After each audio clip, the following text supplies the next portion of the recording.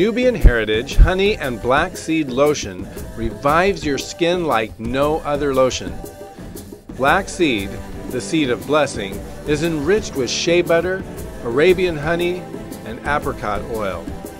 Has been used on the skin to strengthen the immune system, prevent external infections, increase blood circulation, and achieve a smooth, even complexion. 13 ounces, certified organic.